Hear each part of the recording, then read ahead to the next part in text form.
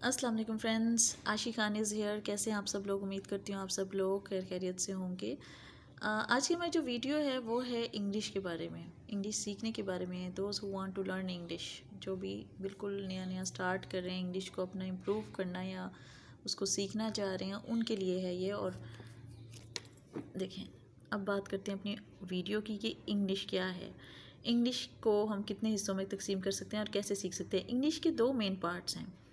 एक वोकेबलरी और एक टेंसेस जैसे एक बच्चा जब पैदा होता है तो वो लफ्ज़ बोलना शुरू करता है छोटे छोटे और फिर उनसे वो सेंटेंसेस बनाता है जुमले बनाता है और फिर उन्हें वो बोलता है और कम्युनिकेट करता है, अपनी बात कह सकता है, अपना मैसेज दे सकता है।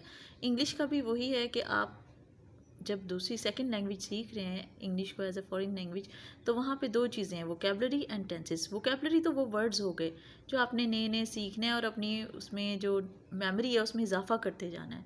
और टेंसेस वो टेंसेस आपको सेंटेंस को अरेंज करने में, उनमें ज़माने को बताने में कि किस ज़माने में आप बात करें, उसमें हेल्प देंगे। ठीक है? वो आपकी एक हिसाब की ग्रामर हो गई।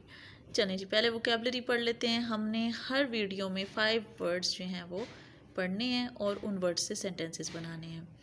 पहला वर्ड है हमारा सिंपथी सिंपथी का मतलब होता है हमदर्दी और दूसरा वर्ड है हमारा एम्पथी एम्पथी का मतलब होता है अंडरस्टैंडिंग अब सिंपथी और एम्पथी में क्या फ़र्क है? दोनों मिलते जुलते हैं. सिंपथी सिंपथी होती है जैसे आपसे कोई हमदर्दी कर रहा है, लेकिन एम्पथी होती है अंडरस्टैंडिंग जो आपके दुख को अपना दुख समझ के फील कर रहा है, यानी आप, आपकी जगह पे आके सोच रहा है, वो है एम्पथी ठीक है ना? सिंपथी तो हमदर्दी है, उसने आपके आपके दुख में आपसे इजहार दुख कर दिया, लेकिन एम्पथी वो चीज़ है कि वो आपके दुख को बाकायदा तौर पे अपना दुख समझ के, अपनी, आपकी जगह पे आके समझ जाए दैट इज़ कॉल्ड एम्पथी फिर है प्लक प्लक है तोड़ना। अब ये भी जहन में आता है कि ब्रेक का लफ्ज़ भी आता है इसके लिए तोड़ने के लिए, लेकिन प्लग का लफ्ज़ क्यों? प्लग का लफ्ज़ ख़ास लफ्ज़ है कुछ चीज़ों के लिए। जैसे कि अगर हमने किसी को कहना हो कि ये फूल मत तोड़ो तो हम ये नहीं कहेंगे कि don't break break this flower हम बल्कि उसकी जगह कहेंगे डोंट प्लक दीज फ्लावर्स इन फूलों को मत तोड़ें, ठीक है? तो इसी तरह से अगर बाल तोड़ने की बात आए तो उसके लिए भी हम फिर प्लग का वर्ड यूज़ करते हैं ब्रेक का वर्ड नहीं यूज़ करते। इस तरह कुछ मखसूस चीज़ों के लिए जो है वो प्लग का वर्ड है, ठीक है? फिर है स्ट्रोल स्ट्रोल का मतलब होता है घूमना, फिरना। नेक्स्ट है जी नेटिव नेटिव का मतलब होता है मुल्की, देसी या पैदाइशी। अब नेटिव इस तरह से है जैसे कि हमारी जो नेटिव लैंग्वेज है, जो हम घर में बोलते हैं, मुल्की लैंग्वेज वो उर्दू है इंग्लिश नहीं है। हम कहेंगे कि English is not our native language ठीक है?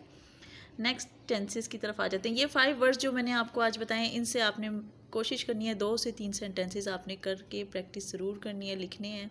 और अगर हो सके तो कमेंट सेक्शन में भी ज़रूर आप मुझे इसके सेंटेंसेस बना के बताइएगा, जो भी आपके जहन में है। ताकि मुझे ये पता चले कि आपको इन वर्ड्स की समझ आ गई है। नेक्स्ट वीडियो में, हर वीडियो में इंशाल्लाह इस तरह के फाइव वर्ड्स हमारे शामिल होंगे। फिर आ जाते हैं टेंसेस की तरफ़। There are total twelve tenses कितने टेंसेज हैं? ट्वेल्व टेंसेज जिसमें से तीन मेन टेंसेज हैं। फिर उन्हीं के आगे ना फर्दर जो है वो डिवीज़न कर देते हैं हम फोर फोर पार्ट्स में। ठीक है? तीन मेन टेंसेज हैं, एक है प्रेजेंट फिर पास्ट फिर फ्यूचर अब प्रेजेंट जो है वो आपके उस ज़माने को ज़ाहिर कर रहा है जिसमें आप जी रहे हैं, जो मौजूद है लम्हा मौजूद है। ठीक है? उसके भी आगे फिर फर्दर फोर ब्रांचेज़ हैं। इसी तरीके से पास्ट है। पास्ट आपका गुजरा हुआ ज़माना है, जो आप गुजार चुके हैं, उसकी भी आगे फोर ब्रांचेज़ हैं, फिर उसी तरह फ्यूचर है, जो आपका आने वाला ज़माना है, उसकी भी आगे फोर ब्रांचेज़ हैं। चलें जी, पहले बात करते हैं प्रेजेंट टेंस की। प्रेजेंट टेंस की जो आगे फोर फर्दर जो फोर ब्रांचेस हैं, वो हैं जी present indefinite present continuous present perfect and present perfect continuous फिर पास्ट की बात करते हैं पास्ट में भी है past indefinite past continuous past perfect and past perfect continuous इसी तरह फ्यूचर की बात करें तो फ्यूचर में भी future indefinite future continuous future perfect and future perfect continuous fill वक्त इस वीडियो में मैं सिर्फ़ आपको इसकी बेसिक्स समझा रही हूँ और इस बेसिक में सिर्फ़ यही चीज़ आती है कि twelve tenses are there total twelve tenses हैं, तीन मेन टेंस हैं उनमें, जिनमें हमने उन्हें डिवाइड किया। उन तीनों की फिर आगे फर्दर फोर फोर ब्रांचेज हैं, उनके आपने यहाँ नाम या ज़रूर याद रखने हैं, जहन में रखने हैं।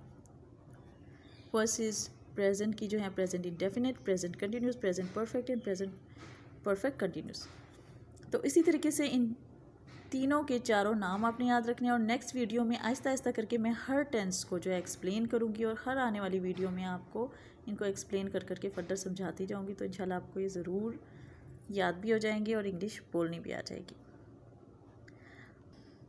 इसी के साथ मैं अपनी वीडियो का अख्ताम करती हूँ। और वीडियो के आखिर में मैं कहना चाहूँगी कि अगर आपको ये वीडियो पसंद आई हो या आपके लिए हेल्पफुल हो तो उसे लाइक करें, चैनल को सब्सक्राइब करें मैं मज़ीद वीडियोज़ के लिए और बेल आइकन को दबाना ना भूलें। ठीक है? अल्लाह हाफिज़।